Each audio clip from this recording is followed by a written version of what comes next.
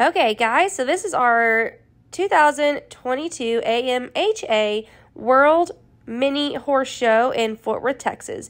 This is Olivia and Missy's jumper round, her first round, and um, I'll show you what they do. So for jumpers, it's really just about going clean. You don't have to look a certain way or worry about being straight. You can actually walk in some places if you want to. You can canter as well. We did have an accident there, so she had a total of eight faults. And I was a little worried because other people went clear.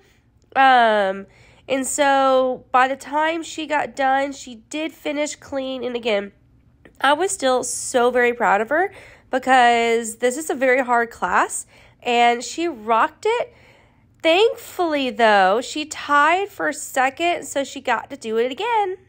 Okay, so here is her second round to see who gets second or third place. And I was so nervous, guys, because um, Missy had already gone a couple times with another person, so I know she was tired. And here we go. and oh my gosh, she looked at me with the biggest smile, knowing that she went clear. Guys, we were so freaking happy. And I'm going to turn the volume up at the end so you can hear everybody screaming, guys. But she actually got second place at the world on 12 and under for jumpers.